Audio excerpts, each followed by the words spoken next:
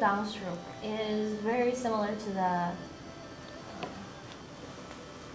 the dash because you see the shapes are really very similar. Here's the dash and here's the perpendicular um. So if you look at it like that, it's very similar shape. So that's the reason I told you that dash is the very important and the very basic stroke of every um, stroke. Yeah. So we're gonna go how to go dash. Okay. So it's very same to the dash too. So you go up again, come down, go back to the center as you did in the dash.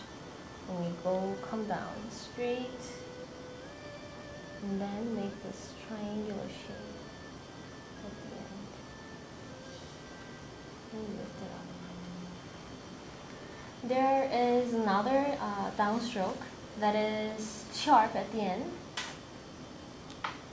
For that one, you come down and you have to make that sharp so you lift a bit, a bit, a bit, a bit at a time.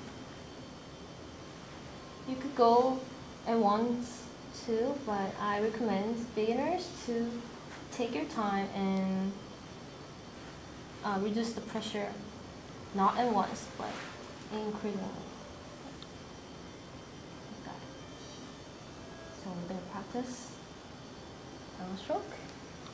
So go up a bit, come down, go back to the center, come down straight, and then make that triangle.